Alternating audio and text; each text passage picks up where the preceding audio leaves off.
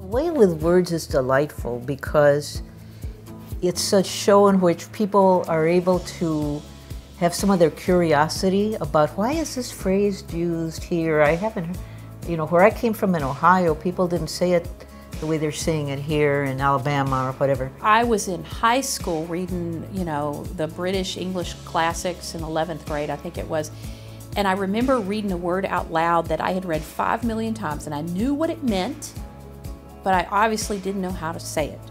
So the word devastating. Now, my Appalachian parents never used the word I'm devastated. That was not a word uh, that I ever heard. So I never knew how to say it. I used to say, so I did. I embarrassed myself in class.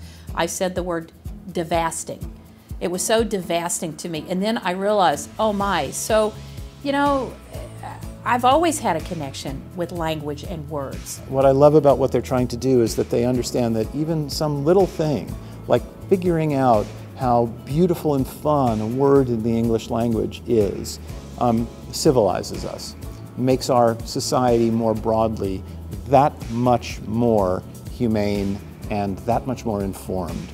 And that's the thing I love the most about the show. I mean, it brings me a lot of joy. It's fun. I learn stuff. But the deeper um, texture of the enterprise, which is that language is a thing that actually matters and that actually can improve the society we live in, is, um, is something I really admire hugely about what they're doing.